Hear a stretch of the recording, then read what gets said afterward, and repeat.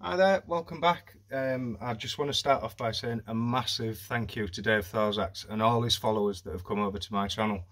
Absolutely fantastic. Um, really, really is very, very good of you. I'm very grateful for that. Thank you so much. Um, I'm going to try and keep uh, you all entertained. I'm going to try my best to keep putting videos on.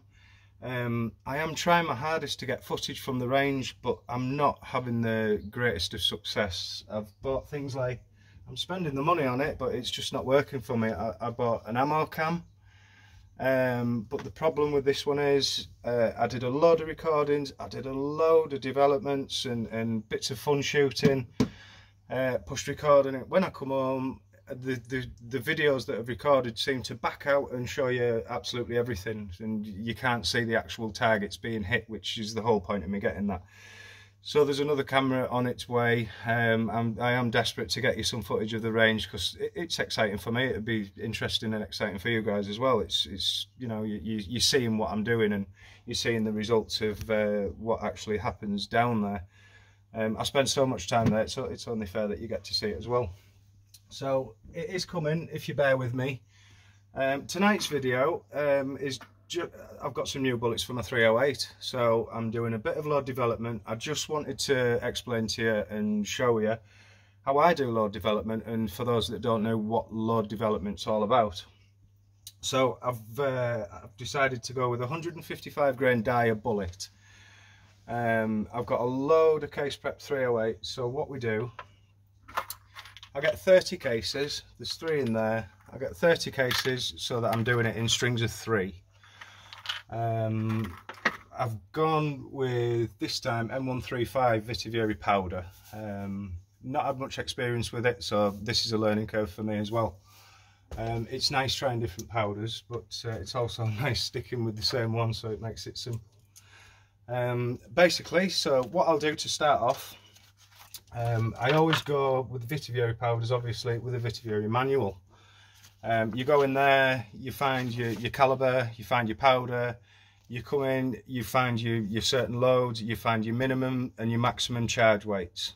Um, always important to fully, fully understand and study your charge weights. You never want to go under and you never want to go over. Um, so what we do, once we've determined a maximum and min minimum charge, uh, I found the minimum on this load with them bullets is 35.1 as a minimum and as a maximum charge it's 41.3 so what I'll do then the first string of three bullets I'll load up at 35.1 which is the minimum. And then I go up in 0.5 increments. So the next string is 35.5 then it's 36 36.5 all the way through until I get to the maximum charge where you can't do a, a 41.5 charge because it's that'd be 0.2 over the maximum. So the last one's 41.3 nine times out of ten the highest charge the maximum charge rate on on a powder load isn't normally the most accurate. It's normally just below. And for a 308 i've found with a past experience it's usually hovers somewhere around 45 45.5 grains. So what we do we go to the range with them we shoot them. I'll show you a target board in a minute to to explain a little bit more about that side of it um, we go to the range, shoot them, and when we find the three strings that go more or less very close to the same hole, what I'll do then is come home and then I'll play about with the point ones below and the point ones above that certain charge, just so that you can try and shrink the group.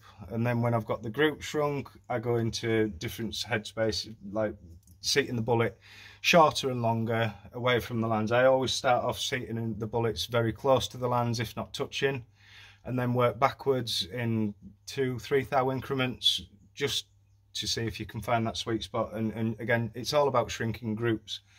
Now, all my load development's done at 100 yards. It's all more or less done at the same range. Everything's the same conditions. Um, it's what I've got to work with, so it's what I use. Um, I'll, I'll step back now, I'll just have to come out here and I'll show you one of my targets, um, just to explain.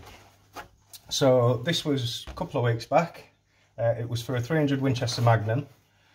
Um, I started off with a charge at 68 grains. You can see that they're not too far away from each other, but again, that, that's not brilliant, but again, we go through the range and see what the rest of them do. So at 68.5, you can see that there's two bullets gone more or less through the same hole, and then there's one over here.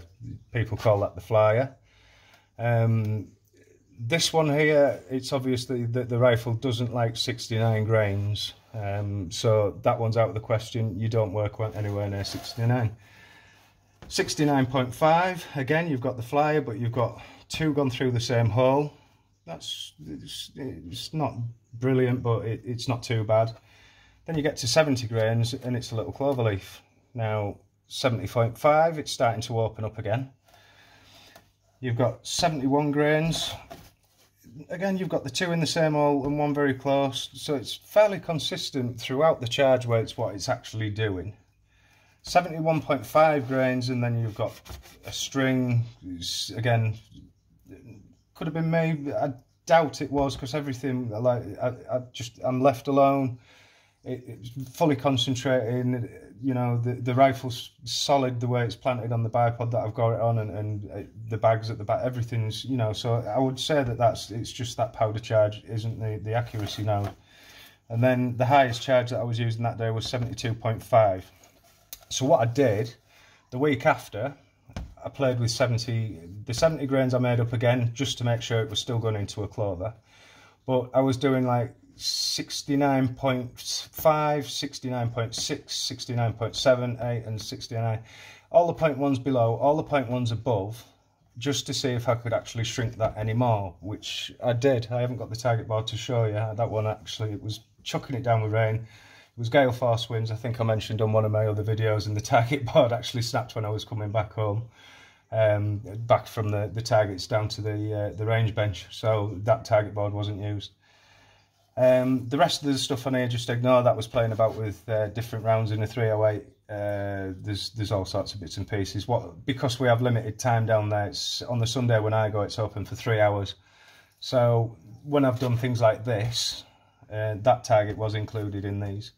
Um, I, like an hour into it, when I finish this, I go down, stick a load more stickers on, and start blasting all sorts of stuff. Normally, these things are absolutely covered in two two long rifle by the time I've finished, because we'll just have a bit of, bit of fun and, and just keep blasting away. But uh, this was a serious board that turned into a bit of fun. Uh, so that's just explaining that side of it. Um, so then, yeah, we get, we get them loaded up, we go down to the range, we test out all our groups we come back and then we start playing around with the point ones get that group shrunk play about with the headspace in which is basically just getting the bullet just trying to find that sweet spot. Um, then when we've got a load developed we come back make up a box 50 sometimes a bit less than that for the first box. Uh, go down to the range again the week after. Shoot all however many I make 25 30 sometimes a box of 50 it depends how confident I am. But first box go down check that out.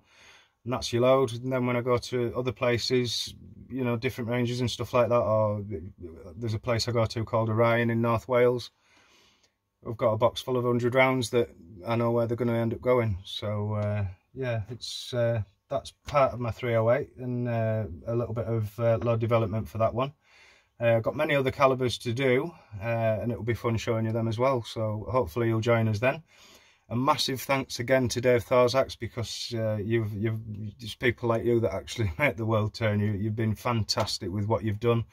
Um, for those that don't know, Dave did a video for me as a big shout out and all his followers and uh, well, not all his followers certainly, but the majority uh, of people that watched the video this morning have now come onto my channel and subscribed too, which is absolutely fantastic. You've made my day, everybody. So thank you very much, and I'll keep trying to entertain you. Um, we'll see you on the next one. Thank you. Goodbye.